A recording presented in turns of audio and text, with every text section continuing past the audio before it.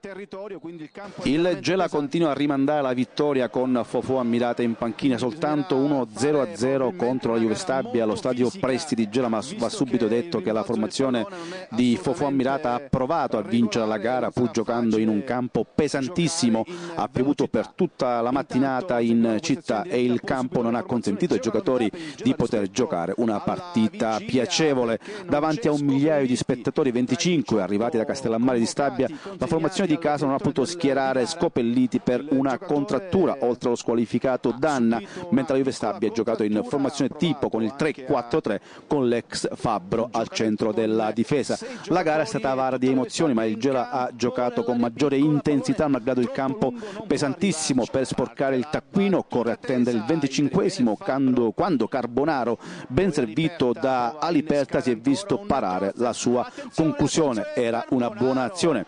Al 39esimo ci ha provato Docente ma il suo tiro è stato rimpalato dal difensore Molinari che poi si infortuna, al suo posto entrerà Mauri. L'ultima azione del primo tempo interessante arriva in pieno recupero quando sugli sviluppi di un calcio d'angolo di Cunzi Cardinale colpisce di testa, il pallone sfiora la linea di porta. Nel secondo tempo non ci sono altre sostituzioni, si comincia con un campo ancora più pesante per la pioggia che cade più intensa, ma al ventiduesimo c'è una buona discesa dalla sinistra di Aliperta che con un diagonale prova a centrare la porta di Colombi. Al ventisettesimo l'unico tiro in porta della Juve Stabia si fa per dire conclusione con Di Quonzo che viene però rimpallato.